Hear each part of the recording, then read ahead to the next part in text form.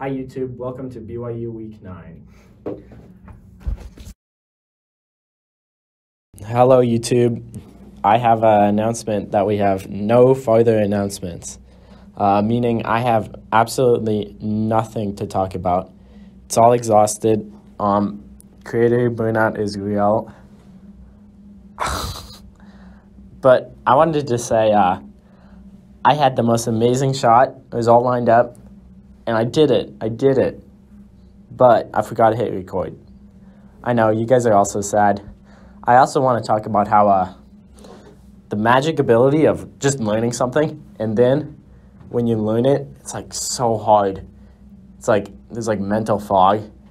But then afterwards, when you do this task over and over, repetitively, it takes like a fraction of the time and a fraction of the brain power. it's pretty magical once you think about it. So, adios, so guys. See you in the next one. Bye.